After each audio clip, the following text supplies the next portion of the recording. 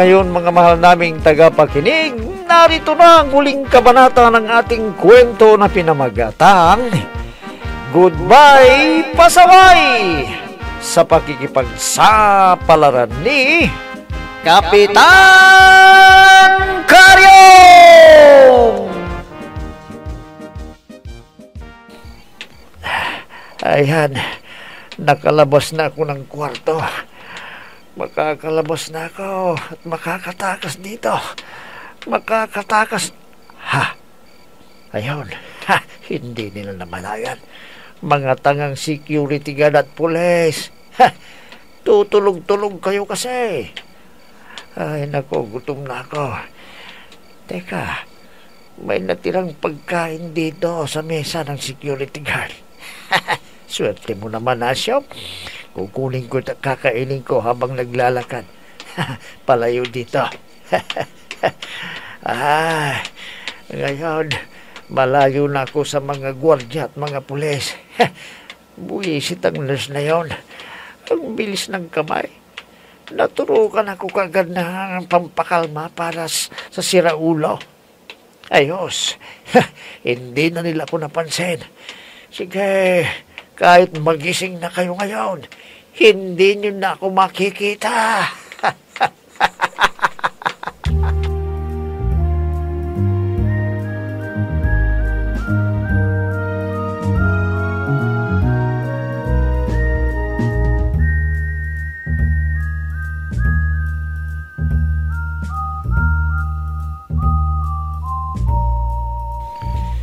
Pare Bonjing, magating gabi na. Wala pa tayong racket. Ha? Oo nga. Eh, mahigpit ang mga bantay kasi. Oh, ayaw. Ayaw pa sila Benito ang bringa pasing. Nasa tipon pa sila. Kung dadaan tayo dyan, siguradong sisitain tayo ng mga tatlong wabnoy na yan. Mga walang hiyap. Bakit hindi na sila umuwi at matulog? Para makadiskarte na sana tayo. Eh, paano sila uuwi? Pagagalitan sila ni Kapitan kapag may nagsumbong na walang nag-duty dyan sa checkpoint. Eh, anong gagawin natin dito? Magpupuyat lang na walang pakinabang. Ah, eh, teka lang. Ma, eh, nag-iisip ako ng paraan para makadiskarte tayo. Pa- Paano nga? Mahigpit ang mga bantay. Kaya mas mabuti pa siguro. Uwi na lang tayo at matulog. Wag! Ikaw talaga, ah, uh, buhig ko sa... Ah, ha? Nako, may naisip na ako. Paring boy, tiyak, makakarakit na tayo sa gabing ito. Ha? Ano yung naisip mo pare? Ano? Sabihin mo na agad. Batuhin natin ang bubong ng checkpoint. Ah, yung stand at sigurado tatakbo na mga CBO na yan. Doon natin sasamantalahin na atakihin yung kwan, yung nakaparadang sasakyan ni Mang Tomas.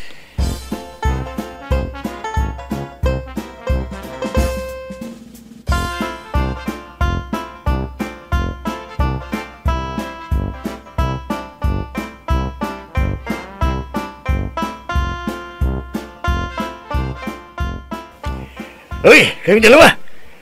Kanina ko pa kayo na naririnig ng kukintuhan. Nagising tuloy ako sa inyo. Tumahimik ka kayo dyan.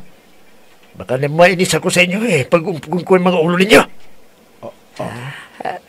Ay, ay, Benito, Ha? nagising si Pasig. Ikaw Oo kasi, ang ingay mo. Eh, makita kong sisisihin mo. Ikaw nga dyan ang kwan eh, maingay eh. Tama na. Talagang ginagalit ako ha. Ay, ay, granada! May nagagis na granada! Oo, mag-granada! Takbo! Takbo! Takbo! Ay, Sige, halika, Benito. Tumakbo tayo. Baka sumabog ang granada. Oops! Walang aalis sa inyo. Ha? Huwag kayong alis! Eh, pe- pe- pe- pe- Eh, pinapasig! May, may, may nagagis ng eh, granada yata dyan sa atin. Oo. Hindi Ay. granada yan, kundi pa to. Yan, dito lang kayo. Dahil huhuliin ko ang mga naghagis. At pananagutin. Diyan lang kayo. Hindi ko, ah, papasig! Ay, bumalik ka dito! Ay, Baka oh, masasamang tao yan at mapatay ka! Pasig! Ay, pasig!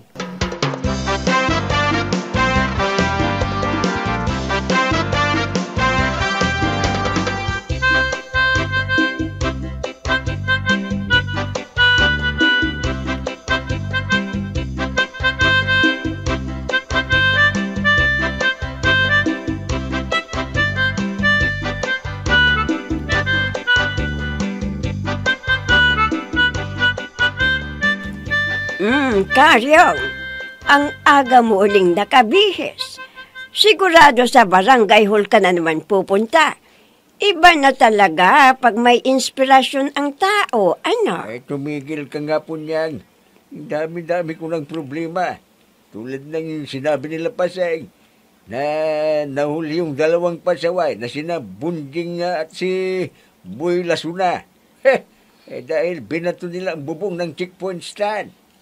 Hindi ko na alam kung anong gagawin ko po niyan.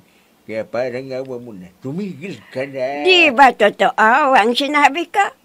May inspirasyon ka doon sa barangay hall.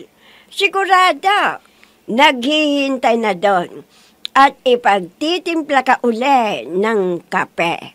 Eh, natural na ipagtimpla nila ako ng kape. Dahil ako ang boss nila. Hindi mo lang alam kung anong nararamdaman ko, Karyaw.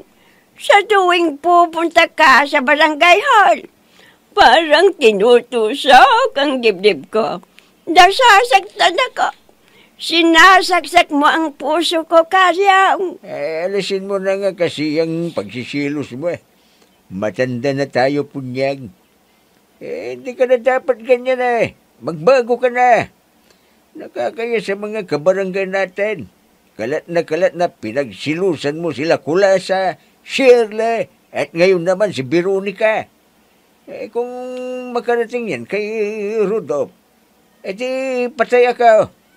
Eh, kung ganyan ka ng ganyan, ihiwalayan na kita. Ah,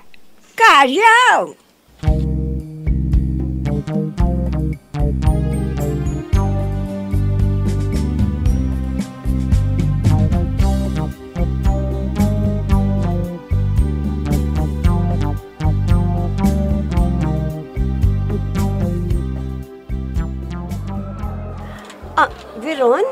Anong ingay yun? Ha? Oo nga no. Ano kaya yan? Bakit nagsisigawan ng mga tao sa labas? Ano nangyari sa kanila? Mga kanayon! Lumayo kayo rito! Nakawala ang mga pasyente ng mental hospital! Nagwawala sila! Kasama nila si Kagawa Dasyo! Pili! Narinig mo ba yun? Si Kagawad Asyong daw, kasama ng mga pasyente ng mental hospital. Nagwawala sila. Ako, Diyos ko. Diyos ko pong mahabagayan. Tawagin mo si Kapitan. Sabihin mo, nagkakagulo na ang mga tao. Ah, sige, sandali lang ha. Tatawagan ko siya. Papupuntahin ko kaagad dito.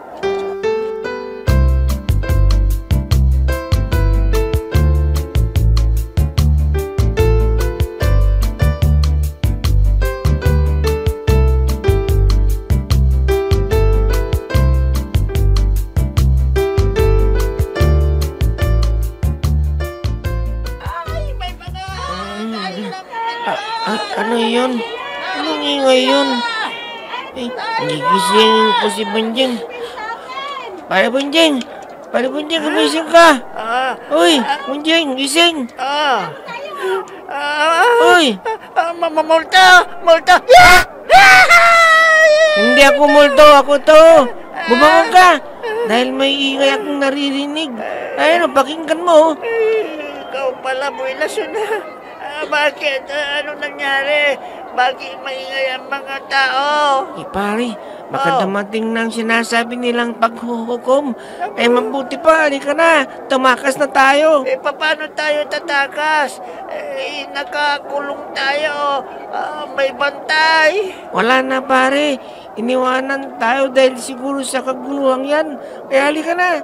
Samantalayin na nating tumakas habang nagkakagulang mga tao. Ay, sige. Halika na. Bilisan mo. Pare Bunjang, hintayin mo ako! Huwag mo akong iwanan! Pare!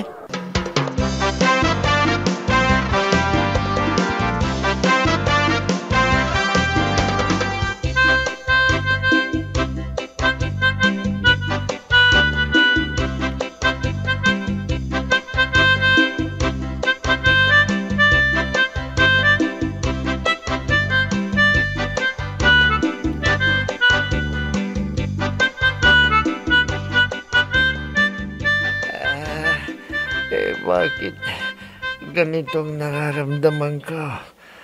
Bigla akong nanghihina. May side effects yata yung naisaksak sa akin ng nurse na yon. Hindi ko na kayang pumunta sa ospital. Eh, tulungan niyo ako. Gusto ko pang mabuhay. Tulong! Ganito pala ang epekto ng gamot na yon. Akala ko, okay na. Na masaksakan ako ng gamot na yon. Ihina pala ang katawan. Nahihirapan na akong huminga. Kailangan maggamot nila ako. Malas talaga. Malas. Lalaban ako. Ay, Benito, ang bili ni Kapitan. Ah, Kapag Ayan na natin sila. at ah, patayin na raw natin at sunugin, di ba, Pasig? Oo, narinig ko. Kaya hanapin na natin siya. Papatayin na natin para hindi na magapanggulo. ah, eh, delikado ako. Papatayin daw ako. Hindi na ako sisigaw. Baka makita ako ng dalawang abnoy na yan. Ah, ha, naka, may langgam pala dito. Pinasukan ng ilong ko. Ah, Nahansing na ako laubo. Ah, ah, eh, kung uubo ako maririnig nila. Papatay nila ako. Pipigilan ko. Ah, eh, nautot ako at may sumamag na ko. Ang baho ko na.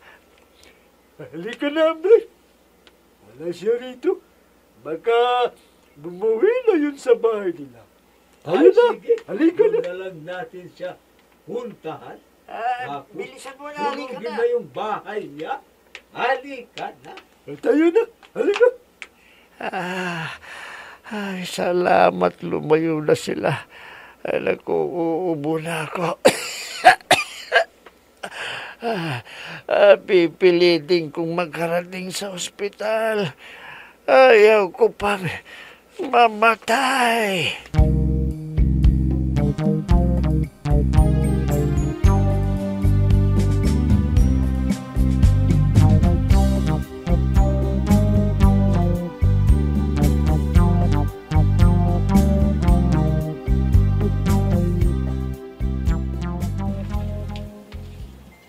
Bakit kaya wala pa ang ngayon? Saan kaya nagpunta? Delikado, baka nahuli ng polis. Kung mahuhuli siya, susulihin ko ng mga nakuha naming kulong. Tiba-tiba ako nito. Didit ko sila nina at Tintin. Ha? Nandyan na pala siya. Nandito ako pare, halika! Ay, andito ka lang pala, paring boy na Kanina pa kita hinahanap. Kala ko nahuli ka na ng mga pulis. Eh, paano nila ako mahuhuli? Palos itong kaibigan mo. Sa bagay, pareho lang tayong palos. Hindi basta-basta pahuhuli. Oh, pare Bunjing, oh, natanggal mo na bang mga gulong ng sasakyan na nakaparada sa bandaron? oo, marami na ako natanggal. Kaya tiba-tiba na tayo ngayon. Oo pare, tumakbong lahat ang mga polis na nagbabantay dito sa checkpoint. Walang natira. Kaya sasamantalahin na natin itong pagkakataong to. Matagal na rin tayong di nakakarakit eh. Ah, Pasukin na rin natin ang tindahan nila Darwina. Kunin natin lahat ang mga paninda nila. Sige, bilisan mo nang ipagulong mga natanggal nating kulong ng mga sasakyan. Tapos ko nang pinagulong pare, andun na sila lahat sa sagingan ni Mang Kanor. Hindi na nila makikita yun doon. Halika na! Sige, halika na. Pasukin na natin ang tindahan nila Darwina. Bilisan mo.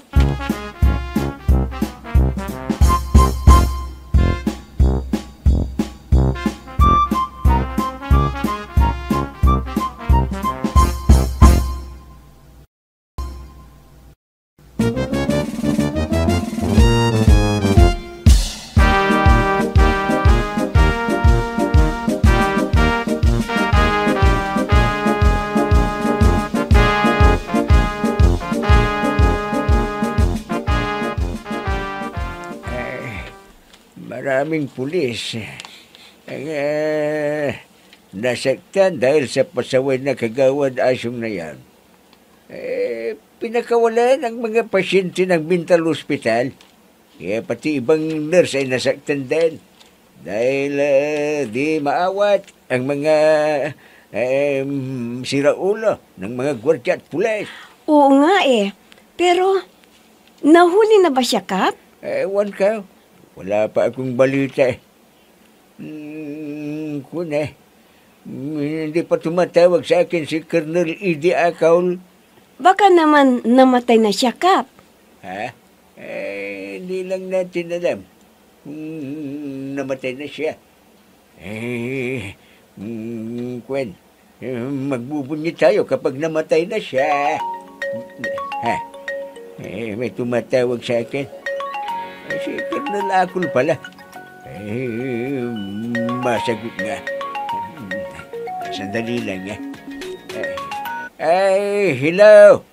Ay, Colonel Idi Akaul. Ano? Nahuli mo na si Kagawad Asyong? Ha? Eh, 50-50 na siya. Eh, huwag niyo na siyang ipagamot, eh, Colonel. Hayaan niyo na lang siyang ah, mamatay. Eh, pasaway yan eh. Eh, kung mabubuhay pa yan, marami pa siyang gagawing kasamaan. Kaya kung may lason kayo dyan, saksakan nyo na lang para mamatay na. Ha? Eh, naawa, ako, na, naawa kayo sa kanya. Eh, nakaw. Eh, kung ako lang ang... kwan, ano, ako na lang magsasaksak kung naawa kayo. Hello? Hello? Eh, wala na. Naputol na. Anong sabi ni Colonel Eddie Sumera? Eh, Ay, este, ni Colonel Eddie Akul, Kap? Eh, kwan, eh, kailangan daw mabuhay si Kagawad Asyaw. Tapos nung sinabi kong patayin na lang siya, naputol na. Oh, anong plano mo ngayon, Kap? Eh, hindi ko alam, Pineg. Mag-uusap pa kami ni Kagawad Gusteng kung ano ang magandang gawin sa pasaway ng mga barangay Kagawad na yan.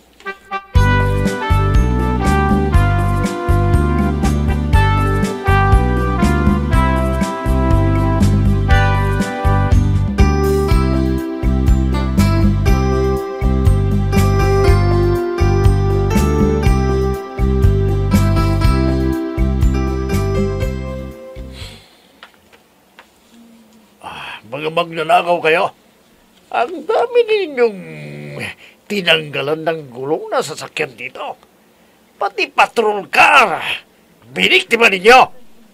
Mga hunghang! Maawa na po kayo sa amin. Akala namin kasi iniwan nyo na at ayaw nyo nang gamitin. Kaya kinuha namin ang gulong boss chief, manager, kapitan, major. Oh, boss chief manager, pakawalan nyo na kami. Oh, wala kaming kasalanan ni Boy Lason na. Anong nangyari dito, Hipe? Itong dalawang ito eh. Ha? Nagnakaw sila ng gulong ng mga sasakyan. Ayan, ang daming nawala ng gulong. Pati patrol car. At isa pa, niluban nila ang tindahan nila Aling Bebang. Kinuha nilang lahat ang laman ng tindahan. Ay, mga walang hiya kayo. hindi na kayo tumitigil na gumagawa ng problema. Ay, Hipe, ano kaya kung patayin na natin ang mga Kapitan? itaw, tapos itapon na natin sila sa ilaw? Huwag, Kapitan. Ha? Ah, ayaw na natin ng batas sa kanila. Ha? Dadalhin namin sila. Tapos, magsampa na kayo ng kanilang reklamo namon sa kanila para hindi na sila makalabas ng bilangguan. Eh, oo. Ay, Ah. Huwag. Ah, Kapitan, huwag niyo kaming bilanggo. Maawa kayo sa amin. Oh. Ay, katapusan ninyo. Uubusin ko kayong mga pasaway dito sa barangay ng Hingaluan. Maawa niya kayo sa Ay, amin, sige na, Hipe. Kapitan. Dalhin nyo na ang mga yan. Ben! Sina! Yan! Dalhin sila sa presinto! Yes, Wag! Oo, oo, wag, sir! Maawa na kayo sa akin. Hindi pa ako nakakapag-asawa eh. Wag, sir! Maawa kayo sa amin! Huwag! Parangahan nyo na! Kapitan, tulungan niyo kami! Kapitan!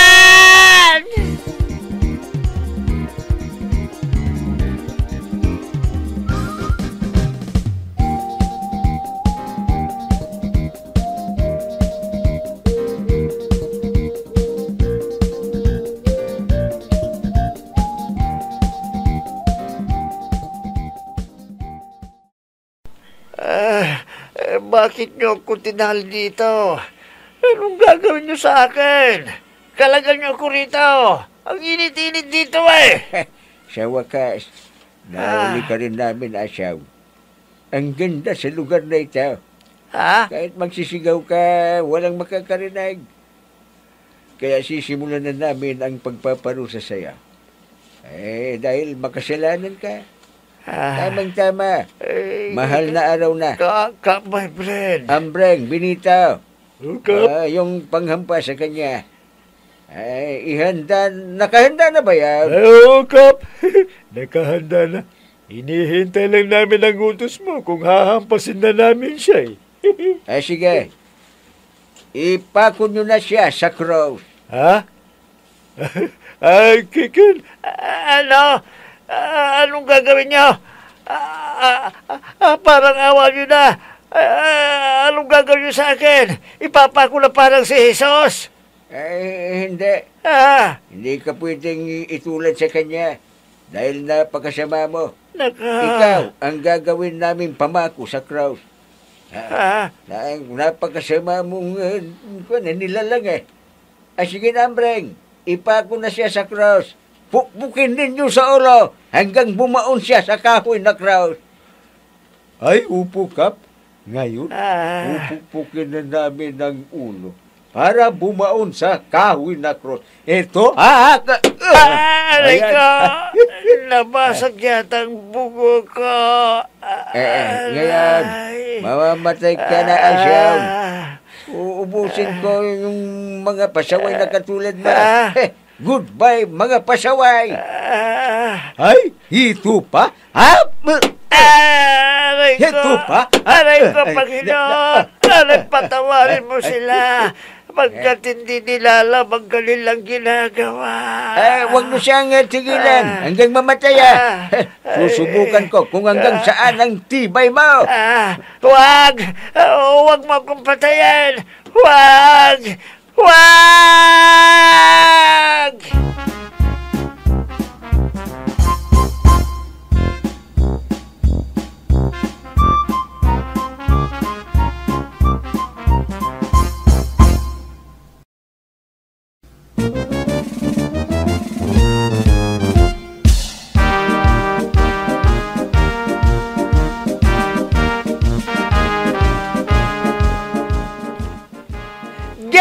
Na po nagtatapos ang ating kwento na pinamagatang Goodbye, Pasaway! Sa pakikipagsapalaran ni Kapitan Karyong! Mga nagbibigay buhay sa ating dula ay sina Mayra Abrihal Narnola, Susan Malikdam, Robert De Guzman, Ami Diaz, Oscar Ora, Jun Cabato, Technical Supervision at sa musika ni Oscar Ora. Nilapatan ng tunog ni Robert D. Guzman. Mula sa panulat at direksyon ni Oscar Ora. Kapitan Karyong! inihahandog sa inyo ng F3 Recording Studio para sa pambansang radyo ng Pilipinas, Bombo Radio Philippines!